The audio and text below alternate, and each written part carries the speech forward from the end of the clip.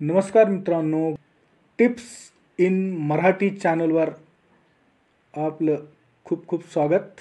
मित्रांनो अलीकडेच S B I state bank of इंडियाने आपल्या ट्विटमध्ये वॉर्निंग देऊन सांगितलं आहे की कोणत्याही पब्लिक स्मार्टफोन चार्जिंग स्टेशनवर आपला मोबाईल फोन चार्जिंग करू नये. जसे की airport restaurant railway station mall इत्यादी ठिकाणी. फोन चार्जिंग करण्याअगोदर दहा वेळेस विचार करा.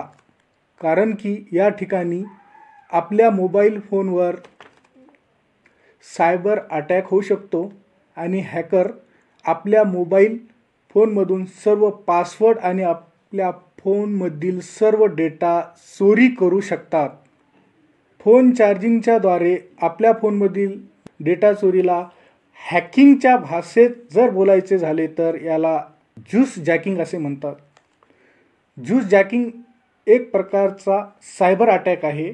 यामध्ये चार्जर पोर्टमध्ये एक इलेक्ट्रिक डिव्हाइस लावले जाते. यानंतर जसाच कोणी आपला स्मार्टफोन त्या चार्जिंग पोर्टला कनेक्ट केला की त्यामध्ये एक मालवेअर इन्स्टॉल केला जातो. यामुळे त्या युजरचा डेटा चोरी करणे फार इझी होतो. आपल्या सर्वांच्या स्मार्टफोनमध्ये बँकिंग ॲप आणि पेमेंट ॲप इन्स्टॉल तर असतातच.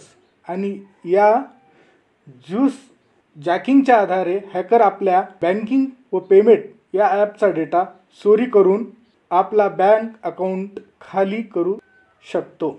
मात्र अजिबात घाबरू नका मित्रांनो. या समस्यापासून वाचण्यासाठी आम्ही आपल्याला काही सोप्या टिप्स देणार आहोत ज्यामुळे आपण अशा समस्यापासून आपला स्मार्टफोन सुरक्षित ठेवू शकता. नंबर एक आपल्यासोबत नेहमी पॉवर बँक आणि आपल्या फोनची चार्जिंग केबल न इसरता सोबत ठेवा. कारण आपला फोन कधी डिस्चार्ज झाला तर आपण कधीही चार्जिंग करू शकतो. नंबर दोन कोणत्याही पब्लिक स्मार्टफोन चार्जिंग स्टेशनवर फोन चार्ज करण्यापूर्वी हे अवश्य बघा की चार्जिंग पोर्टच्या मागे एखादे इलेक्ट्रिक डिव्हाइस वेगळ्या प्रकारे कनेक्टर नाही आहे ना? नंबर तीन आपल्याला कधी नाईलास्तव पब्लिक स्मार्टफोन चार्जिंग स्टेशनवर कधी मोबाईल चार्जिंग करण्याची वेळ आली तर कमीत कमी आपल्या फोनची चार्जिंग केबल नेहमी सोबत ठेवत जा आणि ती केबल ओरिजिनलच केबल असली पाहिजे. शक्यतो कधी पण ओरिजिनल केबलच खरेदी करा ज्यामुळे की आपला फोन पण सुरक्षित राहील आणि डेटा पण. आणि नंबर चार जर आपण अँड्रॉइड मोबाईल फोन वापरत असाल तर आपल्या फोनमध्ये अँटीव्हायरस अवश्य इन्स्टॉल करा.